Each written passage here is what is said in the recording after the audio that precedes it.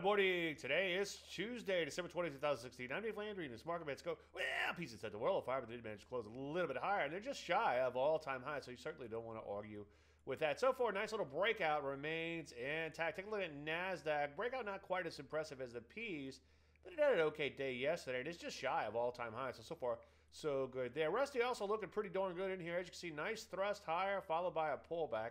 That's my favorite. So far, so good there. Up a little bit yesterday, a little bit more than the rest of the indices, I should say, and not too far from all time highs. Energy is selling off a little bit, but so far, breakout pullback remains intact.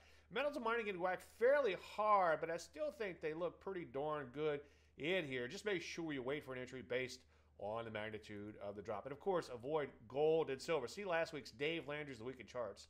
Link will be at the end of this for more on that. So what do we do? Well, I think I'd focus on those metals and energies for now, and there's some other areas that are improving in here quite a bit. So keep an eye out for new setups and stay long as long as the market is at or near new highs. Any questions? As usual, Dave, I'm Dave Landry. Who's Market Minute.